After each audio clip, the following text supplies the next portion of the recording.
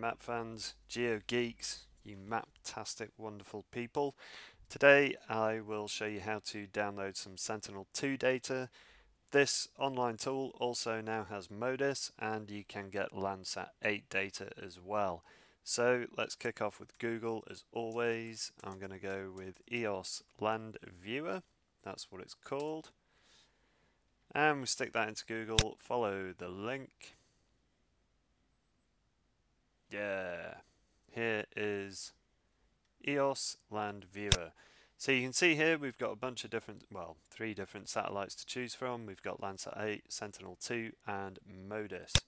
Sentinel-2 is from the European Space Agency. It's only started collecting data in 2000. I'm going to hazard a guess at 14, maybe it was 15, who knows. But the data is coming back thick and fast. So let's go for I want to go to Madrid in Spain, please. You can just scroll around, choose where you want to be, that's absolutely fine, but we'll go for Madrid, and I'm going to go into Sentinel 2. And it brings up a bunch of different scenes that are available. Now you can see that some of these have cloud in them, just going to zoom in a bit. As you zoom in, the available scenes will update automatically. On the top left here, you can choose what date range you want to go for. So there's some presets, last 7 days, 30, 180, whatever you want.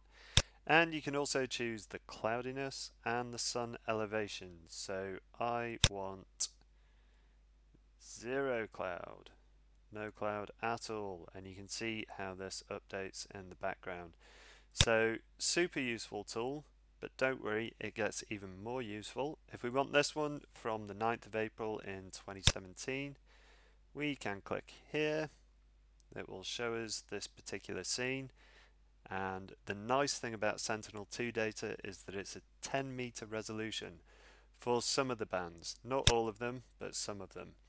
And if we click on this layers button over to the right here, we can change the band combinations. So we can see we can start to tease out more information from these particular images. So if we go for color infrared, which is apparently good for vegetation, let's hit that. And there we are.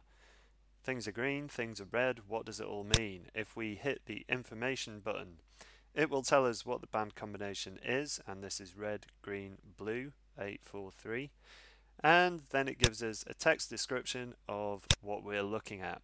So you can read through those, you can find out the best band combination for what it is you're actually doing. Once we've done this, we might want to, once we've chosen our scene and we're happy with it and we want to download it, there is a download button over on the right here. So we can go for scene downloading. Now there used to be an option to get into Amazon Web Services where this is stored and actually download all of them at once, get all the download links. That doesn't appear to exist anymore, probably to relieve server pressure. So you do have to go through these and if I wanted to download band 4, you just click on the download button and it'll ask you where you'd like to save them. Now you can, instead of clicking on all of these, get through this a little bit quicker. If you go to download the metadata, that'll actually show you what the addresses on AWS and if we get rid of the metadata and we start out with b01.jp2 and hit enter that will bring us band 1 we can OK that. Save it to where should we save it? Uh, let's go on our C drive demo land viewer. We'll save it there and then you can just change this text to and you can do that all the way through from band 1 right through to band 12. If you'd like to get more information about what the Sentinel bands are all about and what wavelengths they're at, you can probably just Google it. Sentinel 2 band width or band information. Let's go for that one. We've got a user guide here from the European Space Agency and that will tell you all of the resolutions.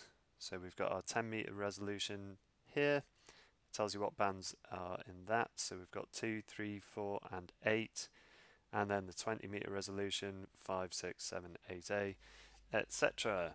So really really useful tool here. Thanks to the guys at um, EOS Land Viewer for putting this together. Very very helpful. If you've enjoyed this, if you like all our other videos, then give us the thumbs up and don't forget to subscribe so that you get new videos delivered to your door hmm, or wherever. Um, you'll find out about all our new YouTube videos as and when they happen. So do subscribe, do give us a thumbs up, do share our videos, it's really helpful. Thanks and happy mapping.